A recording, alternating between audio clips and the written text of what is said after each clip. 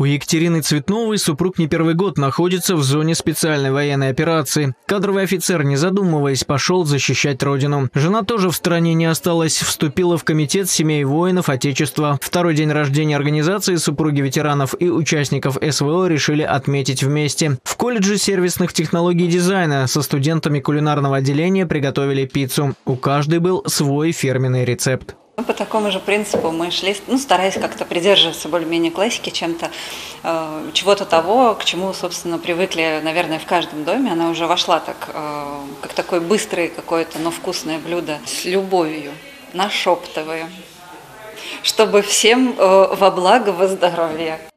Колледж сервисных технологий и дизайна для Комитета семей воинов Отечества стал вторым домом. За пару лет плодотворного сотрудничества удалось реализовать множество социальных проектов. Студенты шьют одежду и головные уборы для участников СВО, плетут маскировочные сети, делают окопные свечи и чехлы для печек. А недавно отправили защитникам Отечества больше тонны квашеной капусты собственного производства этот вклад с первого дня мы с командой комитета постоянно делаем а, с учетом наших профессиональных навыков студенты, ну и, конечно, социальной активной позиции, потому что, во-первых, мы много занимаемся, но много это не бывает, патриотическим воспитанием, во-вторых, мы ценим, поддерживаем, как можем, любим а, наших героев и героев наших семей. Колледж с первых дней СВО превратился в областной штаб сбора гуманитарной помощи. Взял под опеку семьи ветеранов. Сейчас их 36.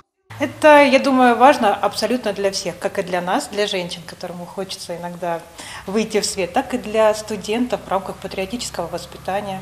За вкусным завтраком волонтеры рассказали о своей работе, а жены ветеранов поделились опытом жизни без мужей. Сергей Кизоркин, Игорь Казановский. События.